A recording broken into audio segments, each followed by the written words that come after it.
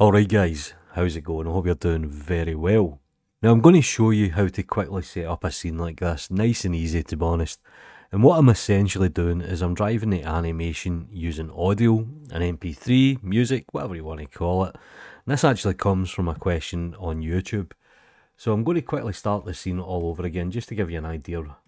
So I'll go to general and in traditional fashion we'll delete the default cube and I'll add in a cylinder. Now the reason I want to model this is I want to show you how to use shape keys and we can use the shape keys and the audio to kind of drive everything. So I'll press tab to enter edit mode, I'll press R for rotate, X on the X axis and I'll just type in 90 and we'll quickly move this over. I'll press 3 on the keyboard, I'll loop select these polygons, I'll delete this face, I'll delete this face, I'll select this face and I'll press I to do an inset. And what I'll do is I'll just move it back on the y-axis, something like this. I'll press E to extrude, I'll press Control and B to do a bevel, I'll middle mouse to get a nice bevel. And there we go, we have this kind of basic speaker setup, nice and easy. I'll enable auto smoothing. And the next thing I'm going to do is I'm going to go to the object data properties here on the right hand side. And I'm going to add in a basis shape key. So this is pretty much the default shape of the model. I'll add in another keyframe here. Then I'll go into edit mode. I'll quickly press Z to go into wireframe. Let's square everything up. I'll press 1 or I'll go up here to select all these points. Nice and easy. I'll press Z to go back into solid and I'll just move this forward.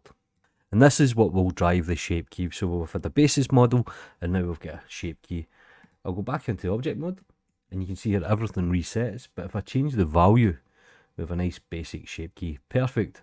Gives us that kind of speaker look. Now I'm not going to win any awards, but the next thing I'm going to do is I'm going to go into the graph editor. And I mentioned this the last video, the graph editor is probably one of the most powerful tools that you'll get. So I'll go to channel. Now we have nothing keyframed here. So on the value, I'll just right click and I'll insert a keyframe.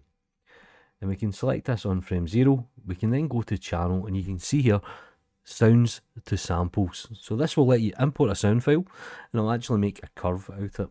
So sounds to samples, let's go into music. Uh, here's a file that I've generated and you can now see this is driving the animation. Perfect. Now one thing that you might want to do is you might want to turn this into actual physical keyframes.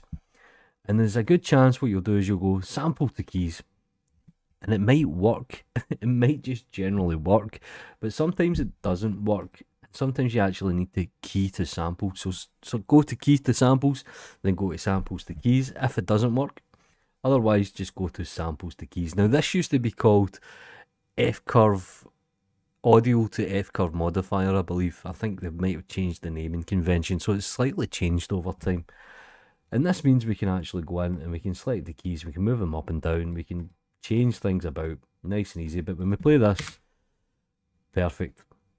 Now you won't necessarily hear something in the background. If you want to hear the music or you want to hear the audio, let's let's go back to keyframe zero.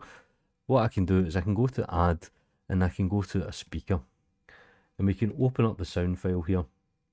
We can go to music, save file, and then when we play in the timeline, what we'll actually do is we'll hear the music in the background one very quick way to drive animation using an audio file. Do me a favour guys, like the video, subscribe to the channel if you haven't already, follow me on Twitter, all that jazz. Take care.